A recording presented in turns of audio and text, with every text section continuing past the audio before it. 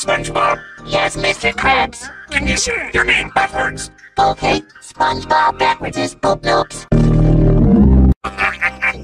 That's funny. Now you say your name backwards. Okay, Krabs backwards is Bart.